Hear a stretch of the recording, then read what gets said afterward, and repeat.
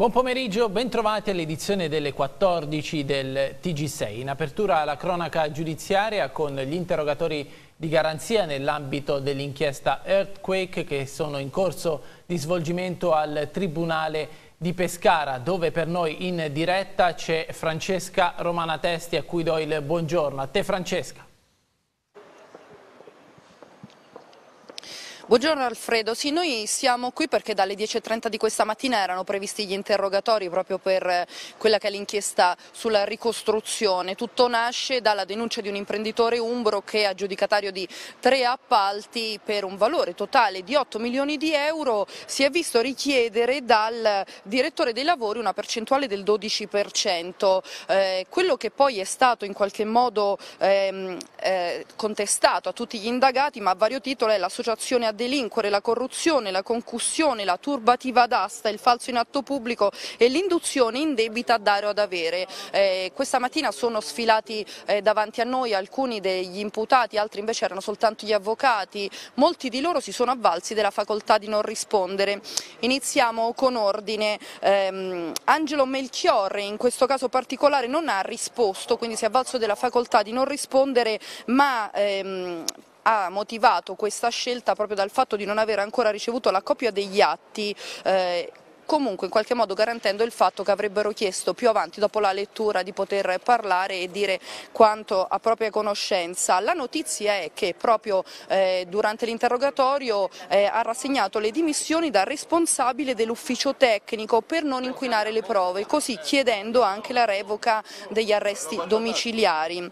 Poi un altro dei, diciamo, degli indagati più importanti era l'ex colonnello dell'esercito, l'ottantenne Giampiero Piccotti di Gubbio, eh, a lui è stato dato il ruolo più importante, quello della mente, si è avvalso anche lui della facoltà di non rispondere, non è passato davanti alle telecamere giornalisti, ha scelto di passare da una porta secondaria. Ancora Emilio Di Carlo si è avvalso della facoltà di non rispondere, eh, ma ha reso dichiarazioni spontanee dicendo semplicemente non sono colpevole. E poi Marino Scancella il suo ruolo, quello di architetto, lui invece ha scelto di parlare e ha parlato di quelli che erano stati i suoi incarichi, quindi anche lui ha reso testimonianza. E poi Angelo Riccardini di Gubbio, tecnico e ugubino e ex consigliere comunale, faceva parte delle intercettazioni nel quale si parlava proprio di quella che era la difficoltà in Abruzzo perché gli appalti in qualche modo erano controllati. Eh, durante la mattinata siamo riusciti a ottenere le dichiarazioni proprio del, dell'avvocato di Angelo Melchiorri, Lino eh, Sciambia che ha parlato di quella che era la situazione, soprattutto perché Melchiorri durante le sue dichiarazioni ha avuto dei momenti in cui ha proprio eh, ha pianto davanti al GPAPM e noi abbiamo chiesto un po' quella che era la, la situazione e quella che era la posizione del, del suo cliente. L'ascoltiamo. Il Melchiorre si è avverso della facoltà di non rispondere, ma perché non ancora abbiamo eh, avuto mm, a disposizione le copie degli atti del procedimento penale.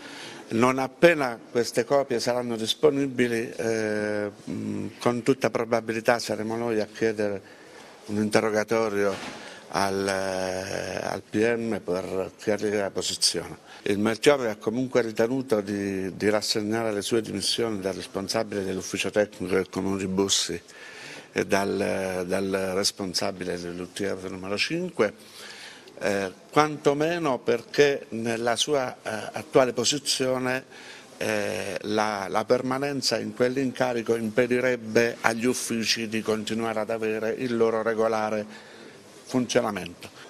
Noi difensori abbiamo eh, richiesto la revoca della misura cautelare ritenendo eh, sulla base della, della semplice analisi dei, dei capi di imputazione, ritenendole non sussistenti perché comunque sono riferite a fatti del 2011, del 2012 e del 2013, fatti che si sono verificati tre anni or sono e che, eh, per i quali la, la misura cautelare viene, è stata richiesta e applicata oggi. In ogni caso la presentazione delle dimissioni fa venire meno comunque l'esigenza perché i reati contestati eh, sono eh, tali in funzione del fatto che il Melchiorre comunque rivestiva le cariche di responsabile dell'ufficio tecnico del Comune di Bussi e di responsabile dell'UTR.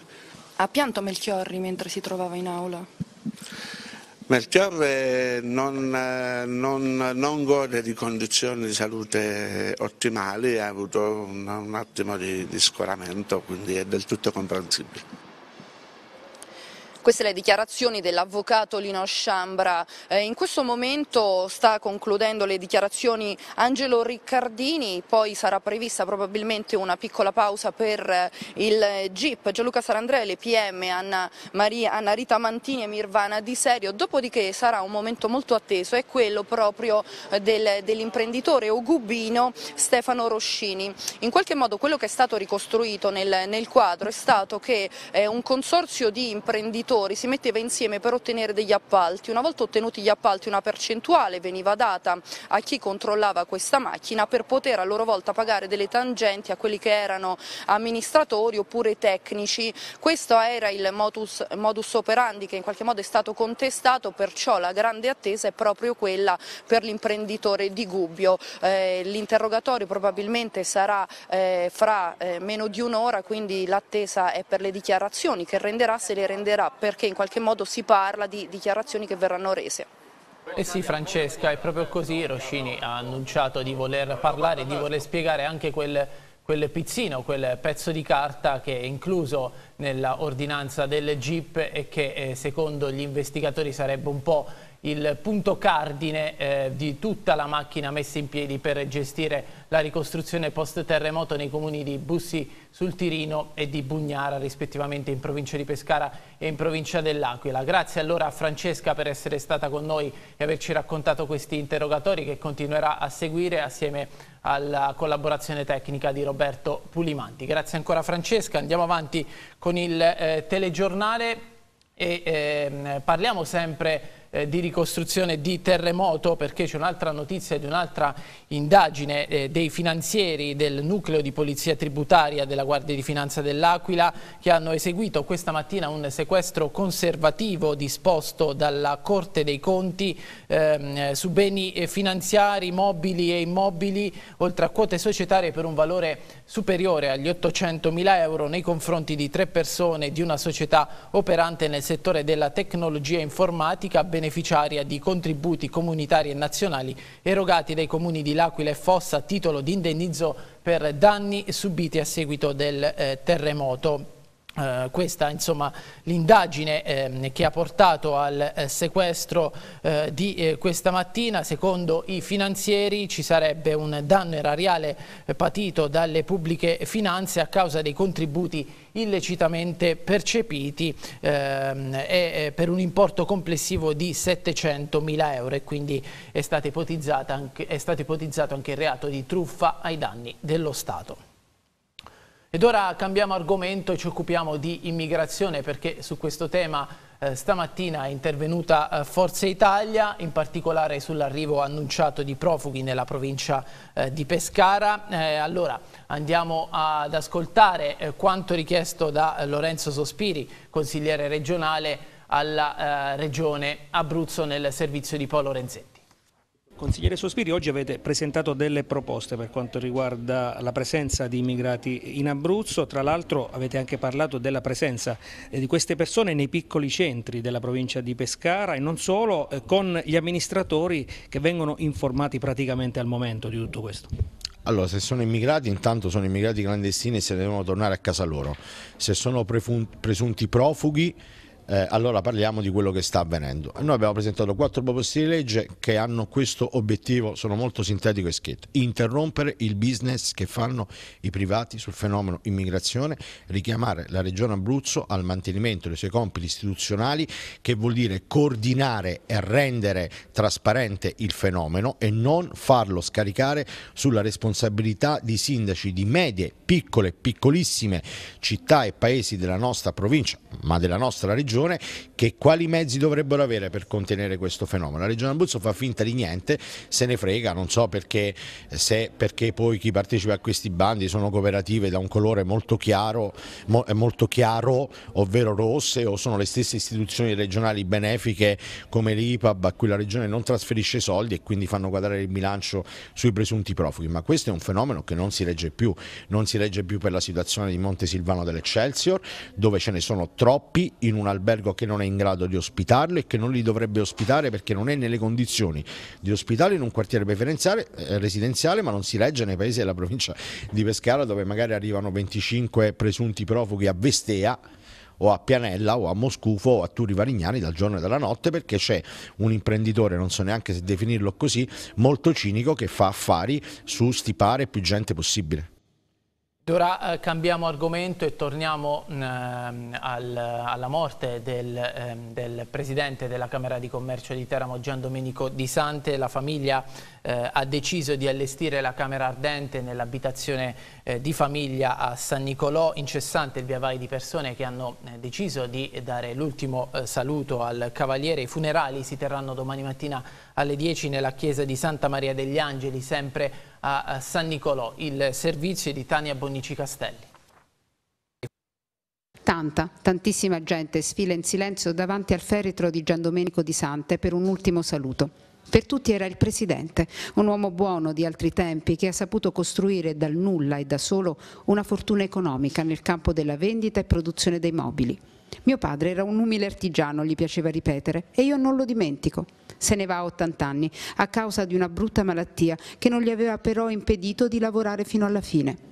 Nella sua casa di San Nicolò a Tordino, alle porte di Teramo, la famiglia ha voluto allestire la Camera Ardente per permettere alla sua gente, persone umili come piacevano a lui, amici, politici e dipendenti, di andarlo a trovare ancora una volta.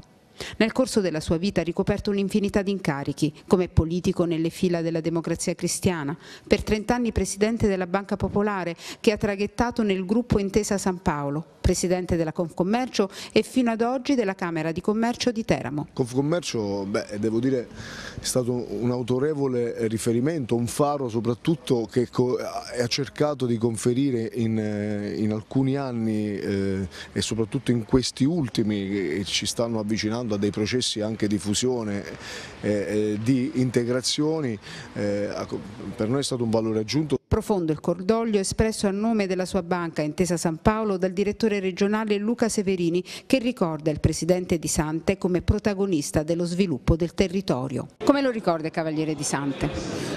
No, la ricordo innanzitutto con grande affetto, come una persona sempre presente, una persona, una persona generosa, di grande generosità, eh, una persona poliedrica che ha fatto tanto per questo territorio, ha fatto tanto per questa città e non solo per questa città. Gian Domenico Di Sante se ne va da questa vita umilmente come ha sempre vissuto. Lascia la moglie Margherita, i figli Attilio, Tiziana, Marcello e gli amati nipoti. Sono loro la mia vera ricchezza, diceva a tutti, il resto non conta. E gli occhi gli brillavano. E adesso cambiamo argomento, eh, andiamo all'Aquila dove iniziano a scaldarsi i motori in vista della campagna elettorale per le prossime elezioni amministrative nel 2017. Eh, Fabrizio Di Stefano chiede unità di intenti al suo partito Forza Italia e, gli, e agli alleati della coalizione. Giorgio Alessandri. Sintesi tra le varie anime della coalizione ma anche degli stessi partiti. È questa, tanto nel centrodestra quanto nel centrosinistra, la parola chiave che viene ripetuta dai diversi esponenti interpellati sulle amministrative per il Comune dell'Aquila del 2017. Nel centro-sinistra la situazione è ancora tutta in fieri, nel centrodestra invece c'è già un candidato, Luigi Deramo con noi con Salvini, e un altro che potrebbe a breve annunciare la sua discesa in campo, l'ex sindaco di Villa Sant'Angelo per Luigi Biondi, che verrebbe appoggiato da una serie di liste civiche, oltre che, molto probabilmente, anche da Fratelli d'Italia e Casa Pound. E Forza Italia? Difficile che rimanga a guardare. Nei giorni scorsi è stato ufficializzato il comitato comunale ed è iniziato un percorso che porterà porterà alla primavera del prossimo anno. Se con un candidato proprio o di coalizione, lo abbiamo chiesto all'onorevole Fabrizio Di Stefano, uno dei leader del Partito Azzurro in Abruzzo. Ma io eh, guardo ovviamente con eh, estrema positività questa vivacità, eh, finalmente vivacità del nostro ambiente qui sull'Aquila. Eh, lo abbiamo sollecitato, lo abbiamo sperato e finalmente c'è qualcosa che si muove. Eh, la candidatura finale sarà un qualcosa che verrà eh, accaduta. Oggi eh, l'importante è creare un progetto politico condiviso da parte di tutte le anime del centrodestra e non solo del centrodestra, di colloquiare con quei grandi stati di popolazione eh, che magari non sono inquadrabili nei partiti politici ma che seguono con attenzione le dinamiche specie amministrative della città eh, per eh, offrire un'alternativa all'Aquila, eh, un'alternativa necessaria visto eh, che a mio avviso questa amministrazione, eh, lo dimostra la quotidianità, non ha dato le risposte che invece i cittadini si aspettavano e che il territorio e la città meritavano. Eh, per quanto riguarda la candidatura, mm, io mi sono sempre speso perché anche il centrodestra ricorresse quando, qualora non dovesse trovare condivisione su un'univoca candidatura allo strumento delle primarie, ma prima ancora di arrivare a questo io credo che vada mm, la pena di scandagliare eh, il più possibile il tessuto sociale aquilano per eh, verificare se al di là di, di chi ormai eh, è perfettamente inserito nel discorso politico cittadino, se ci sono anche altre figure eh, professionali di, di qualità e di competenza che vogliano provare a eh, dare propria, il proprio apporto per il rilancio della città.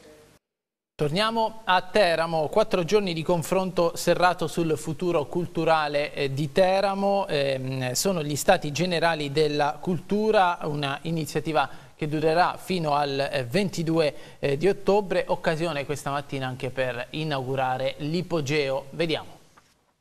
L'Ipogeo, la navetta spaziale atterrata un giorno di tre anni fa a Teramo in piazza Garibaldi, si rivela finalmente ai cittadini per ospitare gli stati generali della cultura. Un'iniziativa megagalattica indetta dall'amministrazione comunale che per quattro giorni ha invitato associazioni, artisti, operatori ed intellettuali a condividere idee e progetti culturali per la propria città. La prima giornata è dedicata al disegno con il coinvolgimento degli architetti che avranno modo di ripensare appunto la spazialità del capoluogo teramano. È soddisfatto di questa partecipazione? Lei che cosa si aspetta realmente? Io sono soddisfattissimo. Gli attori culturali, la vita vera culturale, l'energia che viene proprio dall'associazionismo, dal territorio è presente a Teramo, non è stata massacrata, c'è molta creatività, eh, voglia di, di, mettersi in gioco e voglia di, eh, di collaborare con il territorio. Come farà e... poi a raccordare tutte queste idee? C'è un, un, metodo scientifico eh, predisposto che normalmente si usa nelle comunità scientifiche, nei, nei consessi in cui bisogna sintetizzare idee e concetti complessi.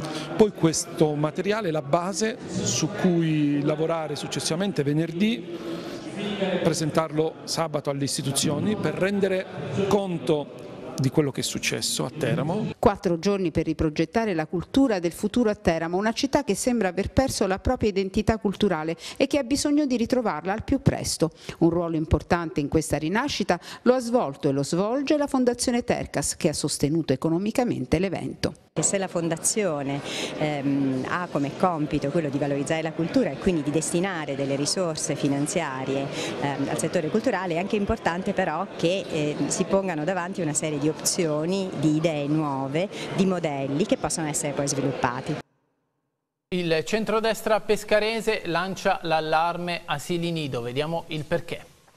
110 bambini sono fuori dagli asili nido comunali, questa è la denuncia che avete lanciato questa mattina in conferenza stampa, un problema eh, che nasce da lontano. Sì, purtroppo sì, un problema che nasce da lontano, che si è verificato, si è realizzato concretamente dal primo settembre quando i sette asili nido comunali hanno riaperto i battenti e soltanto 160 bambini eh, hanno potuto accedere. È chiaro che questi 10, 110 bambini si trovano oggi in difficoltà eh, con le loro famiglie famiglie perché eh, debbono rimanere a casa, se sono fortunati con un nonno o con una nonna, oppure debbono ricorrere alle spese eh, di una babysitter. Quindi eh, noi oggi abbiamo di nuovo riproposto quello che fu uh, il nostro cavallo di battaglia allora nel 2009, negli anni successivi, quello del progetto Unido per tutti. L'invito che facciamo alla Giunta Alessandrini è quello di comprendere l'importanza, la valenza sociale di poter far accedere tutti i bambini di Pescara in questa fascia d'età da 0-3 anni all'interno dei nidi comunali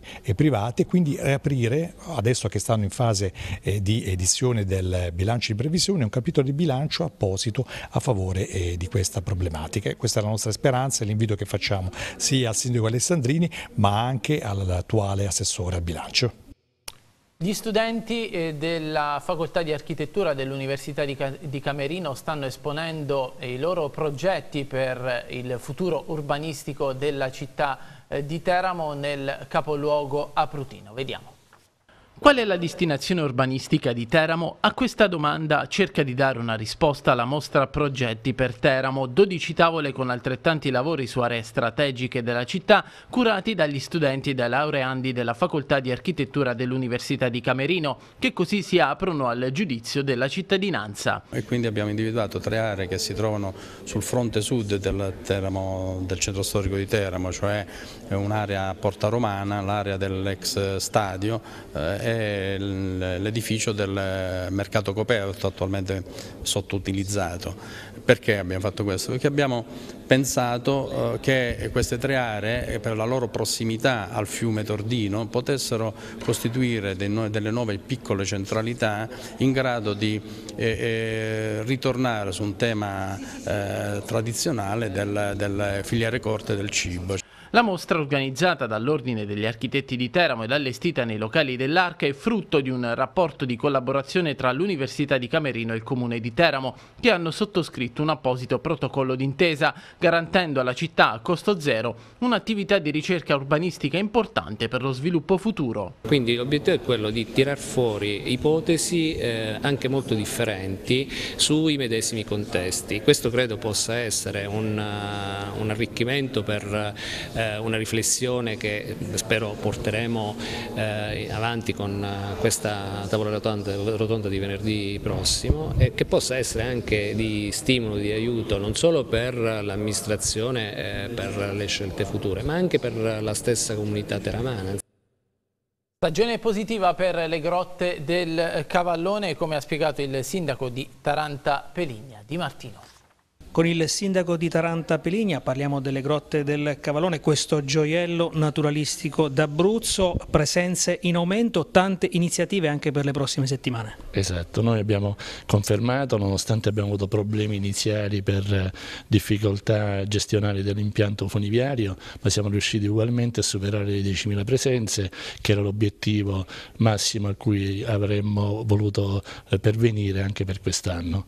Eh, a fine mese, in occasione regione di Abruzzo Pendei ci sarà un'apertura straordinaria non solo delle, della Grotta del Cavallone ma anche di tutte le emergenze carsiche presenti sul territorio regionale. Abbiamo istituito una, una sorta di iniziativa che si chiama Grotte Dei, appunto in quei giorni saranno facilitati gli accessi con tariffe veramente molto vantaggiose. Noi abbiamo diciamo così, come emergenza naturalistica sicuramente quella più importante in termini di eh, indotto tutto in termini di ricavi eh, relativi proprio alle grotte stesse. Noi abbiamo 260 mila euro di eh, entrate per funivie e grotte, oltre 100 mila euro eh, diciamo, si, sono stati spesi sul territorio in termini di ricezione turistica, di ristorazione e di ehm, artigianato locale. Ora lo sport, calcio di Serie A, Pescara in primo piano, doppia seduta di allenamento oggi per i biancazzurri, procede bene il recupero dell'attaccante Manai che però non sarà a disposizione per la partita di domenica ad Udine, difficile anche la presenza di Crescenzi e Vitturini mentre saranno a disposizione Verra e Zampano, Coda invece è squalificato. Intanto il presidente Sebastiani soddisfatto del rendimento della squadra annuncia se dovesse servire a gennaio ci faremo trovare pronti sul mercato. Sentiamo. Udinese e Atalanta nel giro di quattro giorni e potrebbero essere le gare per cercare, oltre che di conquistare la prima vittoria, di avvicinare eh, posizioni di classifica ancora migliori. Sì, sì, eh, sono due partite importanti sia per noi che per loro, perché non è che stiamo parlando di squadre che sono così lontane da noi, anzi l'Udinese ha i nostri stessi punti, quindi sono partite importanti perché entrambe le squadre si giocheranno eh, quello che dicevi tu, cioè cercare di, di, di trovare una posizione più consona in questo campionato però noi penso che abbiamo dimostrato fino ad oggi di potercela giocare contro tutti, non, non abbiamo mai dato l'impressione di essere una squadra materasso, eh, come purtroppo successe nell'altra esperienza della Serie A. Questa è una squadra che entra in campo, se la gioca fino alla fine, io devo dire che ho la stessa sensazione che avevo l'anno passato, cioè anche quando andiamo sotto di un gol hai sempre la consapevolezza che prima o poi il gol lo puoi rifare, perché è una squadra che gioca, è una squadra che ha tutte le caratteristiche per poter fare bene e per poter arrivare alla salvezza anche magari all'ultima giornata noi saremmo felicissimi. Noi comunque siamo sempre attenti al lavoro, eh, è chiaro che da qui a gennaio succederanno tante di quelle cose che noi non possiamo nemmeno immaginarle e poi a gennaio ci faremo trovare pronti se ci sarà necessità di fare un difensore, di fare un attaccante, qualsiasi pedina ci servirà per rinforzare questo organico che secondo me è già di prim'ordine per questo campionato, lo faremo, ma senza stravolgere e senza soprattutto portare i giocatori inutili perché sono convinto che noi in tutti i ruoli abbiamo eh, una bella scelta e quindi non dobbiamo sminuire il valore dei giocatori che, sono, che stanno facendo fin qui molto bene. Da Udine un solo successo nel lontanissimo 1942, insomma bisognerà cercare di cambiare la storia. Eh, durante la guerra. certo. adesso, 2-1. Eh. Adesso la guerra è finita, speriamo di, di, riportare un risultato positivo da Udine che non sarebbe assolutamente male, perché l'Udinese è una, è una gran bella squadra e penso che abbia anche lei incontrato fino, finora delle, delle partite, delle squadre importanti ed è riuscita a fare quei punti come noi che, che abbiamo anche noi. Ma ce l'ha un trolley personalizzato il Presidente, sì? L'azienda Cocco? Assolutamente sì, se non c'era il Presidente non c'era nessuno. Ma con la scritta nuova? Mi diceva qualcuno una volta o a tutti o a nessuno. Quindi. E restiamo sempre alla Serie A perché sono state rese note le motivazioni per le quali la Corte Sportiva d'Appello ha rigettato il ricorso del Sassuolo per la gara con il Pescara, ha confermato lo 0-3 a tavolino per i biancazzurri inflitto dal giudice sportivo. Il ricorso è stato giudicato infondato per due dei tre punti sul quale era strutturato. Circa il terzo aspetto, secondo il quale Sassuolo aveva effettuato la comunicazione del tesseramento del calciatore Ragusa attraverso il sistema extranet, la Corte ha precisato che questa modalità non è affatto sostitutiva della PEC, che è l'unico modo previsto dal regolamento per effettuare comunicazioni circa la cosiddetta lista dei 25 elegibili per le partite di campionato. In questo eh, punto, peraltro, la società Sassuolo ammette non, eh, di non aver trasmesso a mezzo PEC la comunicazione della modifica della lista dei 25. 25. Ora eh, che sono state rese note le motivazioni, il Sassuolo ha tempo fino al prossimo 6 novembre eh, per presentare ulteriore ricorso al collegio di garanzia del CONI per il terzo grado, ma la decisione sembra nel caso difficilmente ribaltabile. Scendiamo in Lega Pro adesso per parlare del Teramo. Federico Carraro sarà fuori anche nel match di sabato prossimo contro l'Albino Leffe. Si protrae l'assenza del trequartista del Teramo in panchina nelle ultime gare solo per onor di firma. Lo staff tecnico e medico farà il possibile per recuperarlo, eh, per recuperare scusate, eh, quantomeno l'attaccante Jefferson, la cui assenza si è sentita nelle ultime eh, due gare. Il difensore Dorazio punta l'indice sulla fragilità della squadra in fase difensiva. Sentiamo. Ad oggi nessuna squadra ci ha messo sotto a livello di gioco. Ecco, abbiamo comunque avuto sempre qualche, molte occasioni per creare un gol, per creare gol, però è pure vero che da difensore parlo, eh, non si può prendere sempre gol ogni partita. Eh, Sicuramente c'è da lavorare molto in questo, da lavorare molto su questo aspetto perché appunto non possiamo prendere ogni gol. Siamo passati in vantaggio a Venezia, potevamo, potevamo ecco, raddoppiare subito, magari sarebbe stata un'altra partita però sto a dire questo. Poi ecco è stata una disattenzione da parte nostra sul gol, poi sugli altri gol. Ecco, dobbiamo migliorare questo ma perché se no andando avanti così non è possibile che ogni partita si subisca così facilmente il gol. Dobbiamo pensare subito a sabato e a dare subito una scossa e a smuovere la nostra posizione di classifica che a mio, a mio avviso non, cioè, non meritiamo assolutamente di essere in quella posizione. Ecco, come hai detto tu, già da sabato deve esserci questa scossa perché, per dare una svolta subito al nostro campionato. Dell'Albino Leffe ci dici? Io l'Albino Leffe conosco il mister Alvini che mi ha allenato a Pistoia, ecco una buona squadra come tutte le altre. Sicuramente sulla carta potrebbe essere molto abbordabile, cioè potremmo giocare molto come ogni partita che noi scendiamo in campo per giocarci per, per andare a vincere. Qualsiasi squadra gioca per vincere. Lasciamo il calcio per occuparci di golf. Si è chiuso l'evento internazionale Alps Tour a Miglianico con la vittoria del giovane eh, reatino Stefano Pitoni. Non particolarmente fortunata la performance del professionista abruzzese del Miglianico Golf Club Luca Luca D'Andrea Matteo che parla così della quattro giorni di competizione. Paolo Sinibaldi.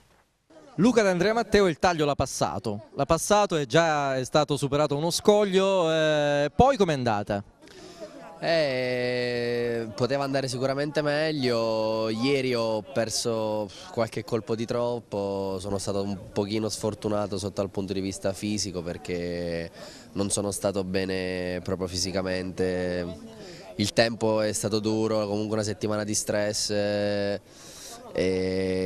sveglia prestissimo per quattro giorni, sempre verso le 5 e mezza 6 eh, partivamo con la pioggia, usciva il sole, il terzo giorno purtroppo ho avuto la febbre e nel finale proprio ho un po' ceduto. E purtroppo io sbaglio ancora molto, cioè la differenza per ora tra me e quelli che stanno su su è che io perdo molti colpi perché di Berdi ne faccio abbastanza, sono soddisfatto, solo che perdo troppi boghi, perdo colpi che potrei tranquillamente non perdere e sbagliare di meno. Però un passo avanti rispetto ad esempio alla stagione passata, quindi un Andrea Matteo che ci sta provando con tutte le sue forze ed è difficilissimo fare il golfista professionista. Sì, sì, è difficilissimo anche perché ti senti ti senti abbastanza da solo a scalare una montagna senza, senza nessun appoggio eh, da destra da sinistra è difficile comunque questo è cioè il golfista fa questo quando parte va in giro si trova da solo quando si giochi in campo sei da solo e questo è lo scoglio più grande da superare comunque è tutto per questa prima edizione del TG6, i prossimi appuntamenti sono alle 19 e alle 23, tra poco Meteo 6, grazie per averci seguito, buona giornata.